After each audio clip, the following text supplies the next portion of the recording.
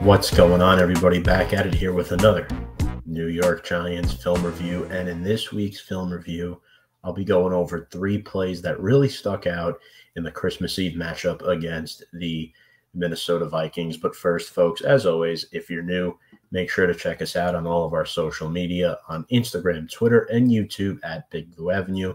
We do weekly recaps of the games that take place, any special transactions. We go over our film reviews weekly and our weekly live stream Thursdays at 7 p.m. Eastern. Also, quick shout out to our sponsor, BetUS. You can sign up with our promo code below there at join125 and get a 125% sign up bonus where you can bet on the go anywhere, anytime.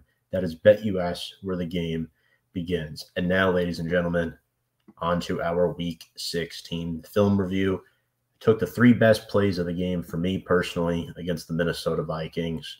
Um, this first play, Giants are down 10 nothing in the second quarter. Uh, they're lurking in the red zone here. Daniel Jones does a really good job of extending this play. We'll play it through once and then we'll break it down.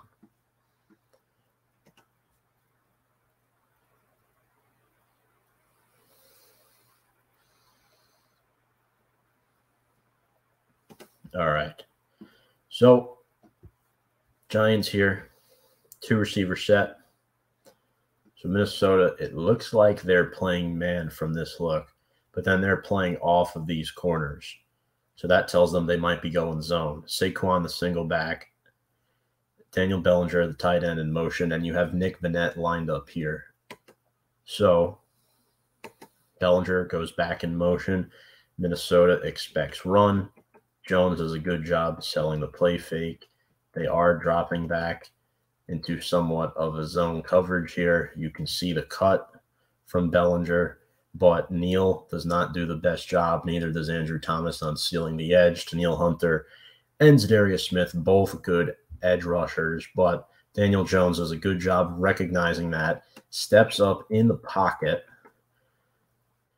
buys some time, gets it around Harrison Smith. I have no idea how he does this, or Eric Kendricks, pardon, finds Isaiah Hodgins, who scores his third touchdown as a Giant. Just an absolutely incredible play. You see Bellinger there running across the formation. You can see how Hodgins starts over here on the left side of the field, does a little crossing pattern. He stops. Jones is trying to elude pressure. Hodgins keeps moving with the play creates the separation and scores. Isaiah Hodgins has been a gem of a pickup this season for Big Blue. Three touchdowns and over 350 receiving yards in just seven games with the Giants. And this was a guy who was claimed off the Buffalo Bills practice squad. Now, fast forwarding to very late in the game, Giants are faced with a fourth and two in Vikings territory. Uh, they're down by eight. They need to score a touchdown and convert the two point conversion. So we'll play it through once and then break it down.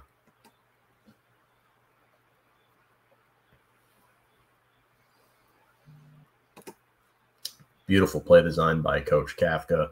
Jones was balling it out on this drive. Really good drive for him.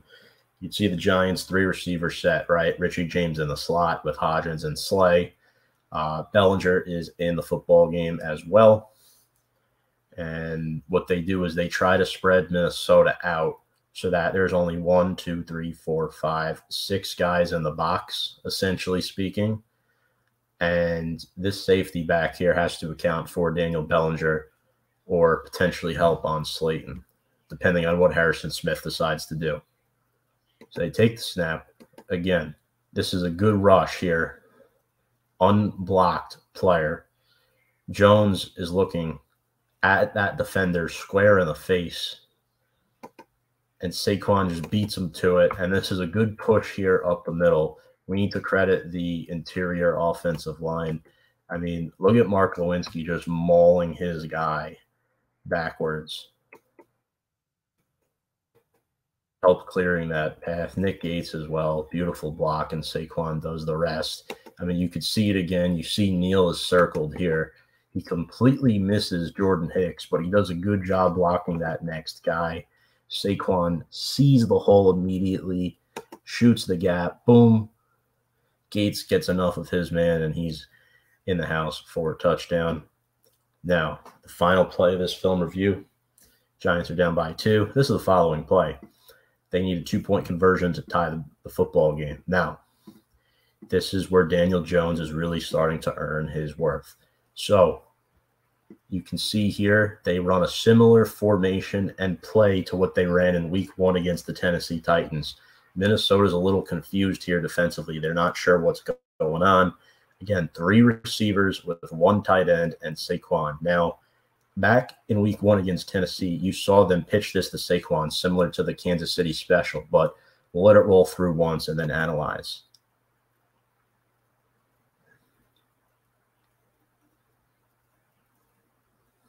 Nicely done. Toe tap score. Now, okay. Richie James. Watch Richie James through the first look of this play. This play has several different looks. James is in motion here. And Jones, they're thinking up, oh, roll out. James is trying to sniff through the defense, and they have a shot here if Jones pitches to him right now, but there's a chance that Jordan Hicks can easily make this play. Jones doesn't even think about it. He's thinking Saquon in the flat. But now he looks and sees Richie he's not so sure he's going to get in. If he does, he gets stopped. What does he do? He continues to extend the play, buys time for his receivers, steps down, forces the defenders to come up. He can try to skyrocket it to Richie here, plump it over the defender's head, or go deep to the back of the end zone for his six-five tight end, which is what he does.